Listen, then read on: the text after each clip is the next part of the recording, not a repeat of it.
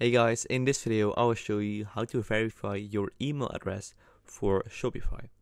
So what you need to do is you need to go to Shopify and then go to the home section.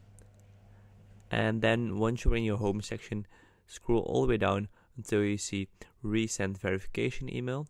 Tap on that and then verify your password. So type it in right here, then tap on next and then this message will probably pop up too many requests we've received.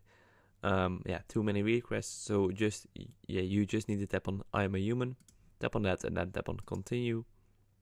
And then tap on this button so verification email sent resend verification email.